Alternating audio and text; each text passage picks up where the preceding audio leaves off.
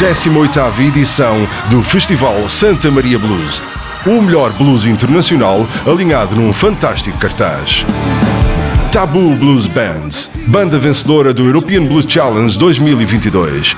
The Blues Bonds, King King, Alexandre da Mata and the Black Dogs, Giselle Jackson and the Choo Choos, Rick Astron and the Nightcats.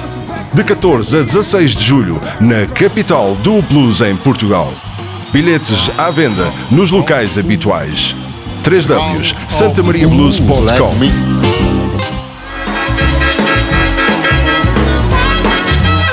The blues is alive.